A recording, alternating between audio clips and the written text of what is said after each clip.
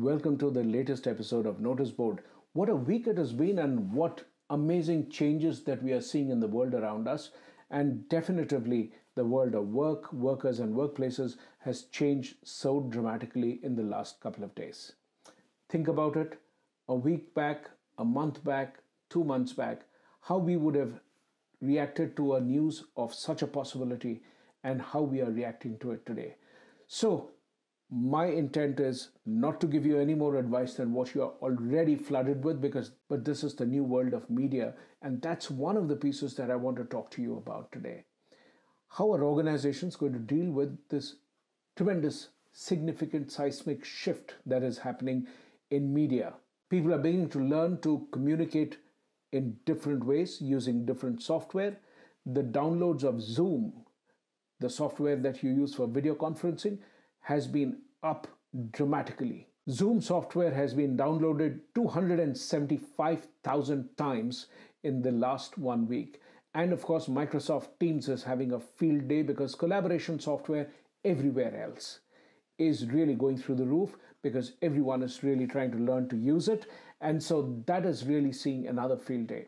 But the world of workers is seeing some very significant shifts. Marriott Hotels has furloughed thousands and thousands of workers. Entertainment is really going through the roof because people are home, they're watching more movies, they are reading more books, and for the very first time, Amazon is talking about children's books and puzzles being in the top 100 most ordered. Can you believe it? It's the parents who are now sitting there and spending time helping their children out with their homework. But also, what is happening in the world of social distancing, people are beginning to discover a whole lot of long lost friends who they have not been in touch with, and it's rekindling many of those lost relationships. Has that happened to any of you? We would love to know about that. Take the opportunity to call up a few friends and ask them how they are coping with this scenario. And make sure you end on a cheerful note. At the end of every conversation, if you talk only about gloom and doom, then the economy is not going to recover back, and we need it to recover back really quickly. A worrisome factor that came to light is when migrant workers take the trains and thousands and thousands of people crowd into the trains and go back to their own villages, it's a Hobson's choice because they cannot potentially stay in the big city if they have no work. And many of these people are in the informal sector, they earn on a daily basis, and if they are not able to ply their trade, there's only so much they can survive maybe for a day or two um, you know, cut down a meal for a day or two. But beyond that, they just have to figure out a way to solve the problem.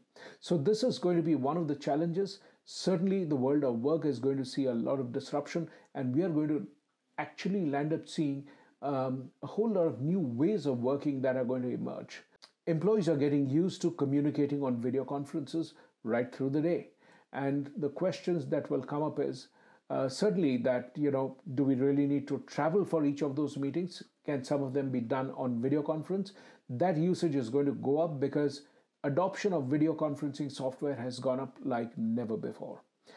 And gamers are playing lots of video games so video game downloads have gone up by 75% um, people are watching a lot more of cable television so news items which people are looking at on television uh, has gone up drastically. Disney has moved the launch of its movie Frozen uh, by three months. And they were planning to do that release during the summer vacations. But hey, this is as good as summer vacations when it comes to viewership of those movies. So some people are really moving fast and making the most of these opportunities. And by that, I don't mean companies which make hand sanitizers or any of those items, but there are many companies which are having to now take really harsh decisions about how do they create alternative supply chains. Because when the world comes back to a different pace it is certainly not going to be business as usual. So how do you handle supply chains? How do you handle hiring? You know it's all done through job uh, interviews which are being done on videos. But many of them have really frozen their hiring offerings uh, because they really want to know uh, what kind of numbers they are going to need, and they are going to take a fresh look at that because some people have moved back, some of the people who were available earlier are no longer available. All of that has happened in the last couple of days.